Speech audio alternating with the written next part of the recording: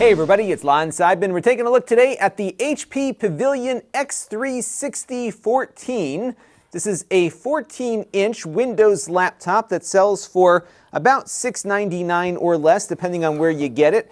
And it's one of these two-in-ones that can go into display mode or can work as a tablet, or you can put it into tent mode or something like that as well. And it's a pretty attractive looking device here that uh, seems to be pretty decent for the price point, and we're going to be taking a closer look at this in just a second. But I do want to let you know, in the interest of full disclosure, that this is on loan from HP. So when we're done with this, it goes back to them. All the opinions you're about to hear are my own. Nobody is paying for this review, nor has anyone reviewed or approved what you're about to see before it was uploaded. So let's get into it now and see what this laptop is all about. So let's take a closer look now at the hardware. This one's got an i5 processor, an 8265U from Intel. That's a quad-core chip.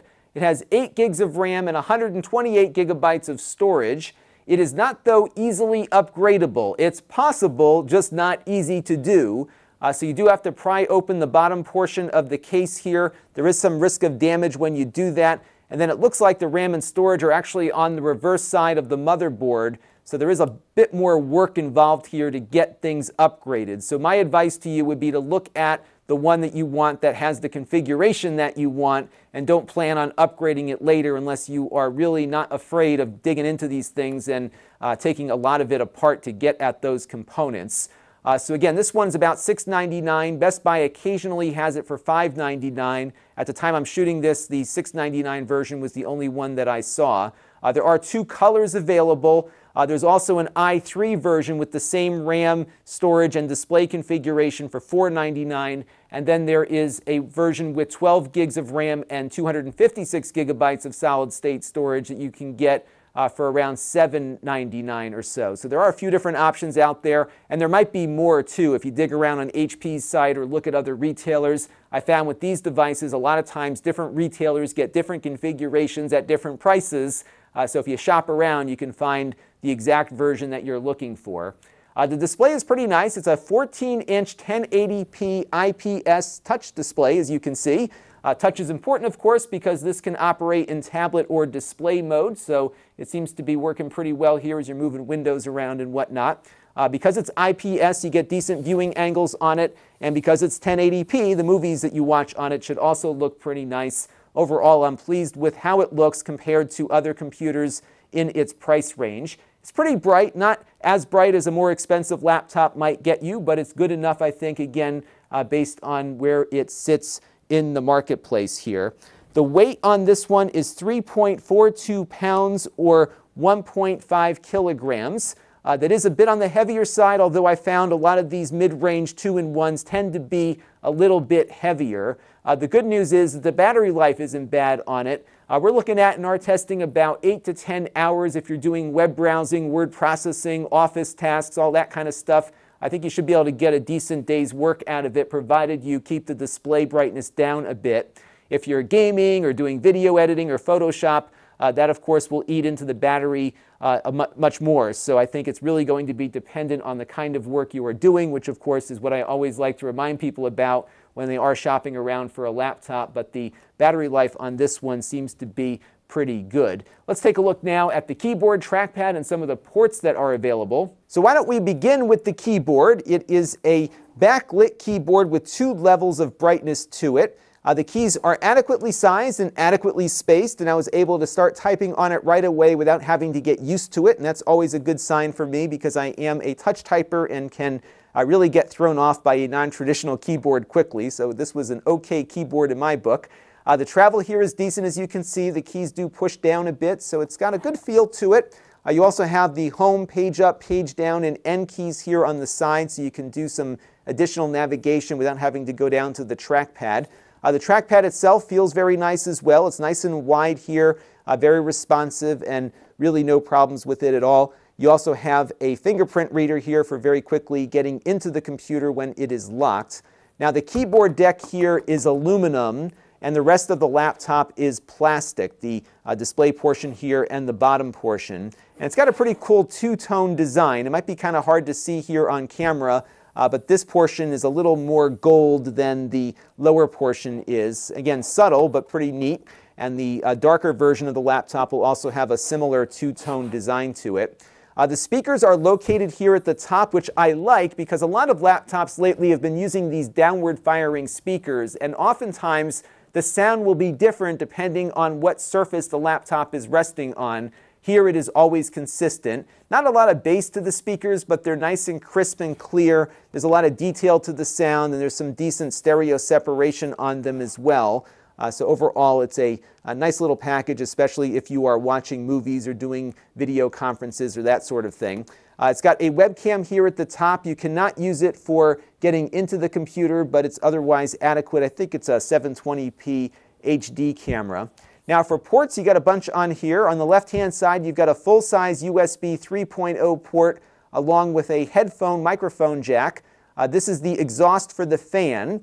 The fan isn't all that loud, uh, but it will, of course, kick on when you put the computer under load. And the more strenuous the load, the louder the fan is going to get. It's not really awful. It's certainly audible when it's under uh, that kind of load, but it's no worse than any of the other laptops that I've looked at. But it's not a fanless laptop, so just keep that in mind. Generally, though, I found it stays off if you're doing word processing and some light web browsing. You'll hear it kick on again when you start doing a little bit more with it. And a lot of times it's just running at a very low level. Uh, your power standby switch is over here. You've got a Kensington lock here for locking it down on a desk, so good for kids going off to college. Now on the other side here, you've got a full-size SD card slot, and the cool thing is that the SD card uh, will sit flush to the case here, so it doesn't stick out all that much. Uh, it will pop out if you press down against it because it is spring loaded, but it is good to see the card not sticking halfway out and that gives you some additional options for augmenting the onboard storage so you can load up your movies and stuff on here and take it on a flight with you. Uh, next to it is a hard drive indicator light, which is something we don't see all that often on a laptop these days. And sometimes this is helpful to see if the laptop is locked up or actually doing something uh, because you'll see that light blinking whenever the internal hard drive is in use. So that was cool to see. Uh, next to this uh, SD card slot, you've got a USB Type-C port. Now this will do data and video, but not power delivery. So if you plan on using one of those docking stations, you'll still need to connect up the AC adapter to get the laptop charged and powered uh, but you will be able to get your display output through here and connect up your USB-C devices too. Uh, you've got another full-size USB 3 port here, a full-size HDMI output, and your power connector goes in right there. So let's take a look now and see how this laptop performs. We'll take a look at some of the basics, look at some gaming, and then I'll make some recommendations. So we'll begin with some web browsing, and we loaded up the nasa.gov homepage. Uh, the laptop, of course, has AC wireless on board and can very quickly browse the internet, of course, and everything seemed to be working fine there. Uh, we also loaded up my YouTube channel and looked at a 60 frames per second 1080p video. Uh, that, as expected, also ran just fine. No drop frames. Everything looked great on the 1080p display, and all was good on that front. And on the browserbench.org speedometer test, we got a score of 152 on version 1.0 of that test and 89.8 on version 2.0. That has this one running just slightly slower than two other machines we've looked at running with the very same processor. It was not something we noticed while browsing the web, and I don't think it's something any of you would notice in day-to-day activity, but it did benchmark slightly slower than some other devices that are similarly equipped, and that's something we saw on a few of the other benchmark tests that we'll get to in a minute here. So let's move on now to gaming, and remember, this is not a gaming laptop, and as such, games will not do very well on it.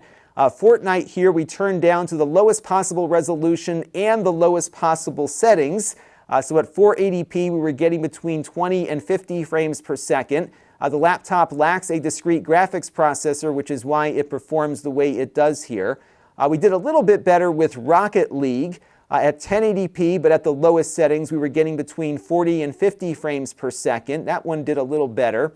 And then older games will run quite nicely on here. So Half-Life 2, which came out around 2004 or so, was running at 60 plus frames per second at 1080p. So if you are a fan of older retro games, uh, no issues here with uh, this kind of computer, but these machines really, again, don't do well with the things that are out there and popular now. uh, you'll want to look at a laptop that has that discrete graphics processor on board to be able to make use of some of the games you might want to play on it. And on the 3D Mark CloudGate benchmark test, we got a score of 6,757.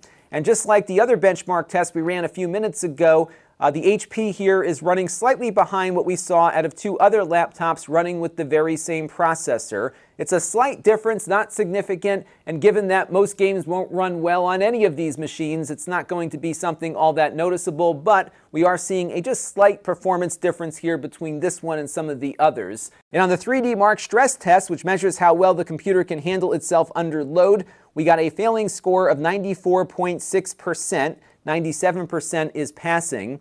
And what this means is that if you were doing a lot of heavy duty video editing or maybe running a very intense video streaming uh, session or something, you could see performance drop off the longer you conduct that activity. Uh, so that's something to keep in mind if you really are looking at some high end performance tasks that you might want to do on this.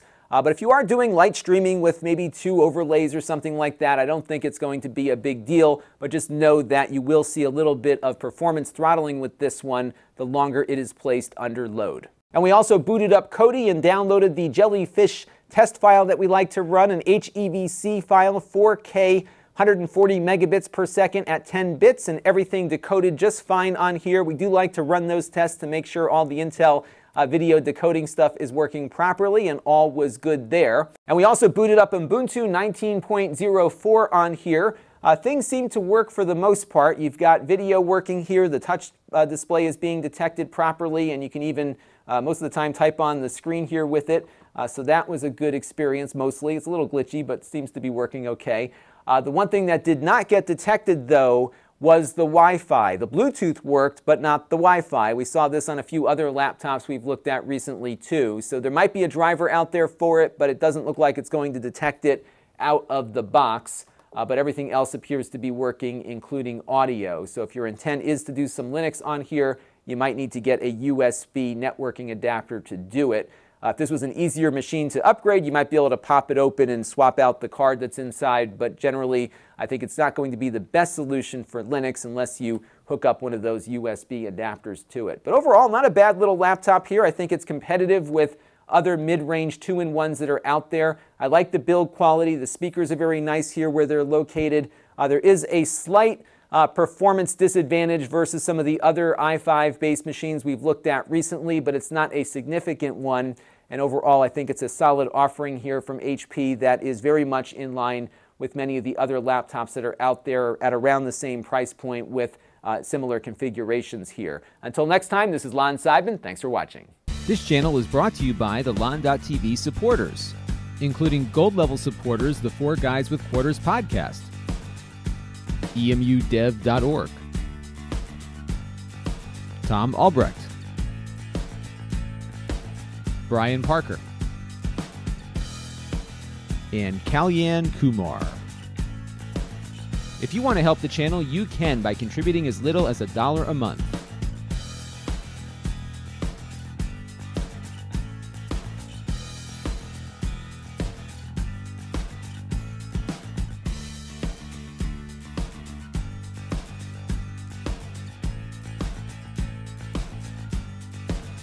Head over to lon.tv slash support to learn more.